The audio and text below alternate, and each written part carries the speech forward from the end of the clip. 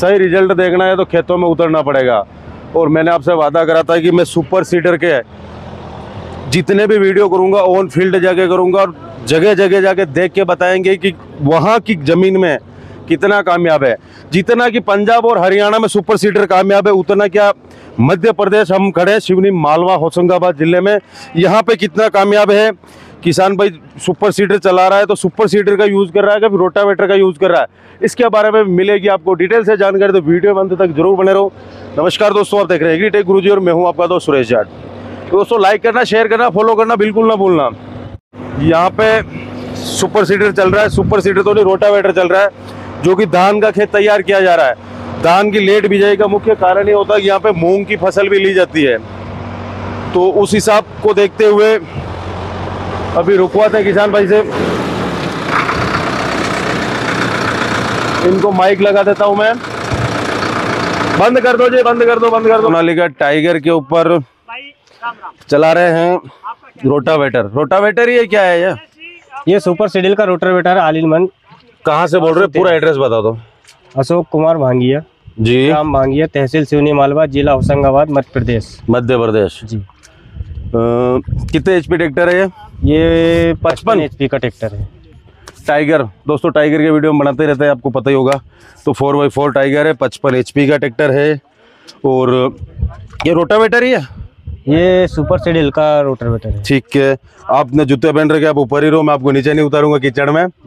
तो अपना नाम भी बता दो भाई। मेरा नाम हरिओम यादव। हरिओम जी यादव साहब भगवान कृष्ण के वंशज। वो गायें चराते थे हम क्या आप खेती कर रहे हो? हाँ ठीक है। ठीक है। तो आपने दूसरे रोटावेटर भी देखे होंगे। हाँ।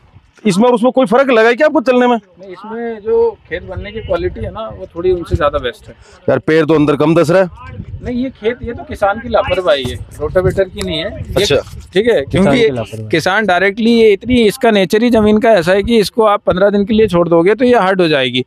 अब इसमें एक बखरनी लग, लगनी चाहिए थी फिर उसके बाद इसको छोड़ना चाहिए था। बिल्कुल बारीक हो जाए ठीक है।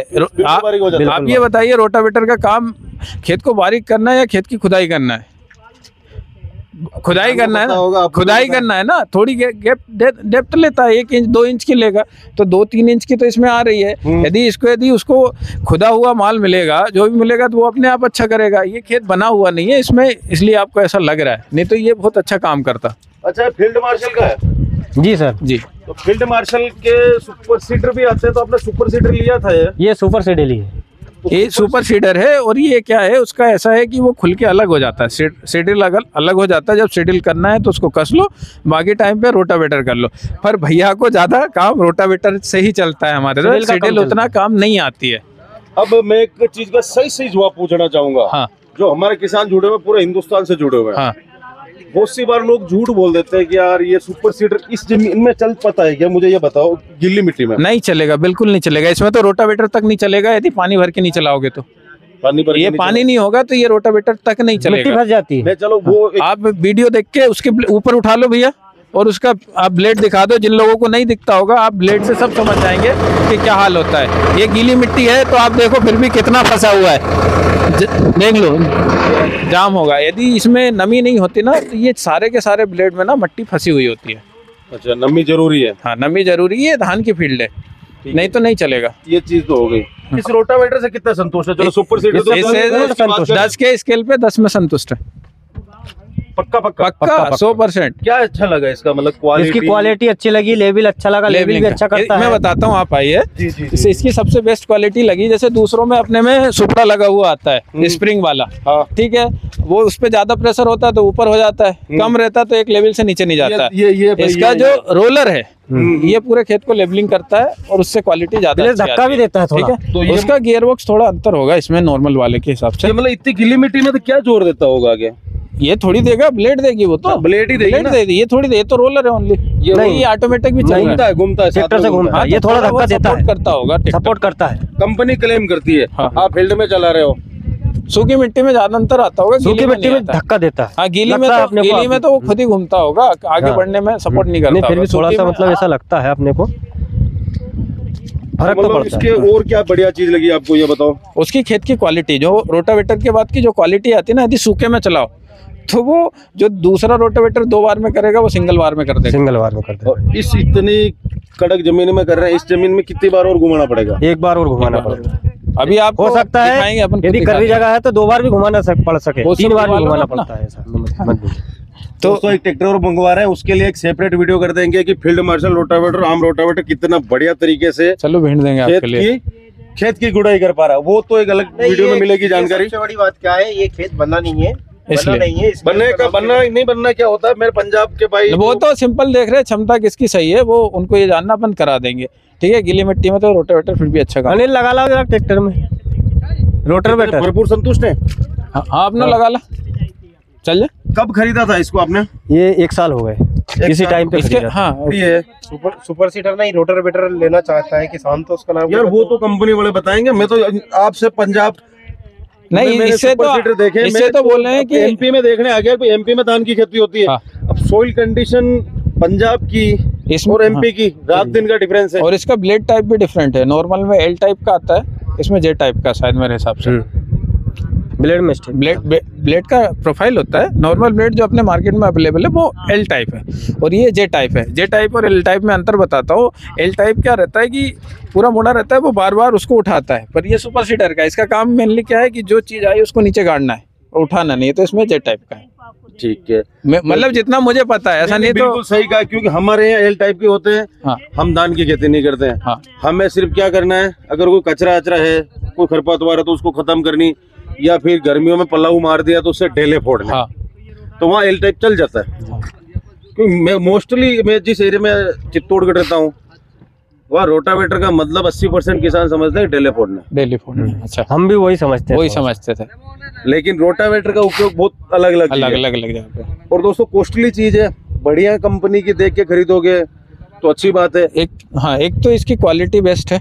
मतलब है। टफनेस रोबस्ट चीज़ है। टफनेस है जैसे कुछ कंपनी का रहता है कि भाई कहीं आड़ा टेढ़ा लग गया तो हिल जाता है। पर इसका मतलब वो चीज़ तो अच्छा है कि मतलब रोबस्ट है। ये मतलब इसकी क्वालिटी अच्छी क्वालिटी अच्छी है। तो दोस्तों देखिए डेमो हम यहाँ कर रहे हैं। इतने लोग भी आए हुए हैं। और स्पेशल तौर से धान का सीज़न यूपी उधर तो खत्म हो गया है इधर ही चल रहा है। जी। और शायद ये भी आखिरी दौर आखिरी। आखिरी आखिरी। आखिरी दौर बिल्कुल आखिरी। है। सही टाइम पे आए मतलब ये लेट है हो चुका हम्म। हो हो चाहिए हो चुका है यहाँ पे ये लेट है इसलिए लगा रहे नहीं तो अब तक खत्म हो जाता। ठीक है। तो धान के अलावा इसको कहाँ चलाओगे रोटावेटर को? अभी इसके बाद धान कटने के बाद के बाद हम आपके तो जैसे मक्के कटाई के डायरेक्ट जाता है ना हमारे यहाँ पहले भुट्टे टूटते हैं लेबर अच्छा। चलती है और मक्का खड़ा रहता है।